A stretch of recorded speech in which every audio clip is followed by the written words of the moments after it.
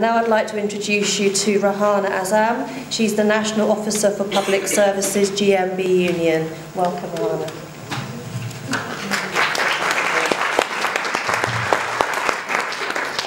First of all, can I say well done to the Brighton and Hove Women Against Cuts for organising this fantastic gathering and I thank you for inviting me to share my union, the GMB's experience on the government cuts. My name is Rehana Azam and I'm the GMB Trade Union's National Officer responsible for the NHS Public Services. I'm very proud of my union's record in participating and supporting communities to challenge injustices and inequality in society. Where there is injustice and inequalities, it is down to all of us to collectively challenge this. Solidarity and respect to all you great people who are working tirelessly in your communities to bring attention to what this government and local councils are doing. You know, whenever people ask me, what do I do? I proudly say I'm a trade union official. Sometimes I get this vague expression back. And I always say, you know, it's the best job in the world. Yes, it can be challenging. Organising workplaces, communities, and helping build a fair and equitable society is never going to be easy, but in this current climate, it has never been so important to organise and challenge. Unemployment is rising, two and a half million. The number of job vacancies has dropped by 200,000. Benefits for the most vulnerable have been decimated. Public sector pay has been frozen for years. We now face attacks on employment rights and our most prized national possession, the National Health Service, is being sold off.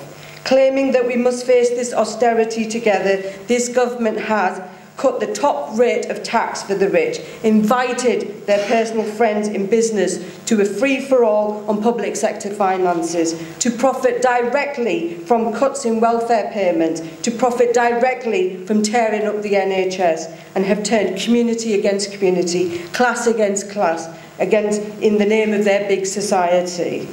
The result is that money has flown from the public purse and increase in debt. This government has taken money off the most vulnerable in society and put the same money firmly in the wallets of the rich. Shame on you, Clegg, Cameron and Osborne. The GMB represents thousands of public sector workers and I invite you to join us if you're not a union member and I'm going to say that because I'm here today. Dedicated public servants who have borne the brunt of the government's ideological attacks Public sectors, eh, workers, including the NHS workers, have been hit by their wages frozen for three years and their pensions, the savings they expected in retirement, greatly undermined.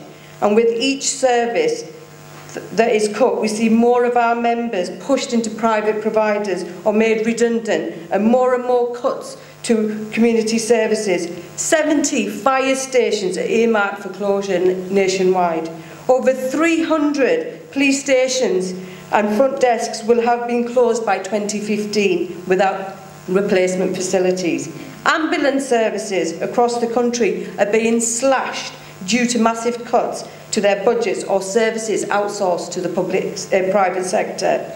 Brave and committed public sector workers see more and more vital services that protect the safety of the public left to those who can pay for them.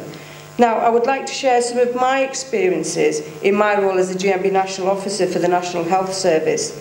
The NHS is a unique organisation, treasured by UK citizens and envied by the world over. My appointment to the post coincided with the passage of the Health and Social Care Bill through Parliament. The bill claimed it was liberating the NHS and was opposed by my union and many others from the start. We recognised that there wasn't going to be any liberation of the NHS, but the obliteration, which is, which is and will lead to dire consequences. There has never been a mandate for the dismantling of the NHS. It was never in either of the coalition party manifestos, with no indication of any of these plans.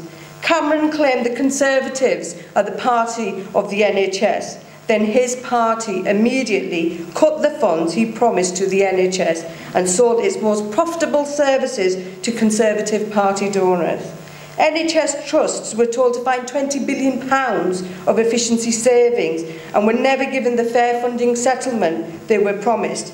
And why can't you trust them with the NHS? Because the Tories want everybody to pay for health services through private provision and health insurance fees.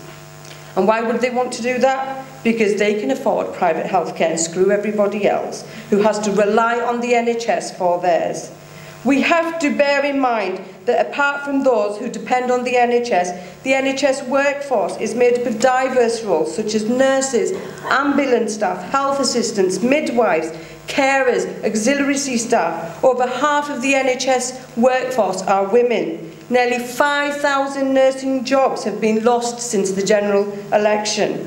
Ambulance trusts are closing stations with all the dangers that poses for response times in the future. More and more treatments and services are being rationed.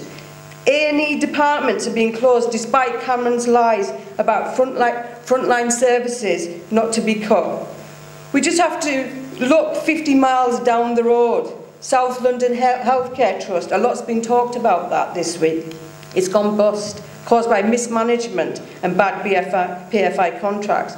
The Trust Administrator, Matthew Kershaw, recommended the closure of accident and emergency departments, cutting a consultant-led maternity unit, cuts to jobs, privatisation of services and the sell-off of NHS assets and premises. And all of this is permitted by the new Health and Social Care Act. And this tragedy is coming closer to home than you might think because Matthew Kershaw has been appointed as the Chief Executive of Brighton and Sussex NHS Trust. This is not an isolated case. Up to 60 other trusts are on the brink of bankruptcy. We all need healthcare. Demand is at an all-time high and is set to grow. So why has the Health and Social Care Act allowed NHS trusts to go bankrupt without state intervention? Because if the NHS can't provide our healthcare, then we will be forced to go private. This is except for those who can afford insurance. Those in the greatest need will have to accept a substandard service. In a survey by the Royal College of Nursing, nearly half of the nurses said that they would leave their current job if they could. At a time when the number of nurses being trained is being cut, the service can't ill afford to lose this valuable expertise. And all of this plays into the hands of this government, driving people away from the NHS.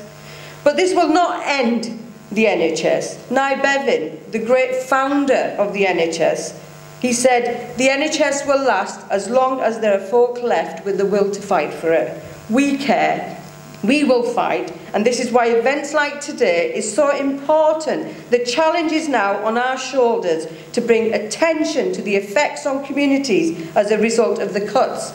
We need an NHS for future generations, not an Americanised system that will only be accessible on people's ability to pay rather than upon need. We have seen the coverage and support for the Save the NHS in Lewisham protests and March, the fantastic community organisation in North London to challenge the NHS trust cuts. Not a week goes by and you don't hear of communities organising against cuts. Grandmothers, mothers, daughters, sisters, it's our communities, our services, and it's our calling to stand and be counted. We need more and more marches and events. We need more and more of these gatherings so we can collectively pool our resources, organise and challenge. Sisters of Brighton and brothers, I notice, I am privileged to be here with you today. It's our fight and we can and we will make our voices heard. The GMB Union is proud to play its part. And just to conclude, if I may, I would like to share a little story. A few years ago, I was privileged to participate in the first Women's Conference in Sierra Leone. With all that country's unimaginable injustices, that conference had a lasting effect on me throughout my activism.